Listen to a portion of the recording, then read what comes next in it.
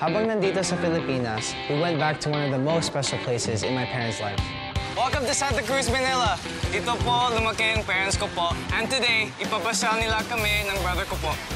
Meeting my parents' old neighbors, it was masaya kasi they still knew my parents even after 30 years. Anak ko si Jeremy. Hi. Pinalikan din namin yung dating bahay ng mama ko. Ano pa yung cabinet namin?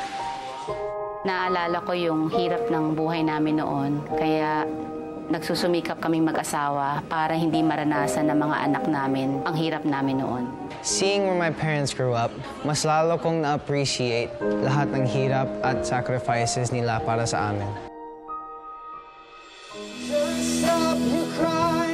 For the semifinals, I will be singing Sign of the Times by Harry Styles. Yung meaning ng song is to conquer your fears, and hindi ko magagawa yon without my family.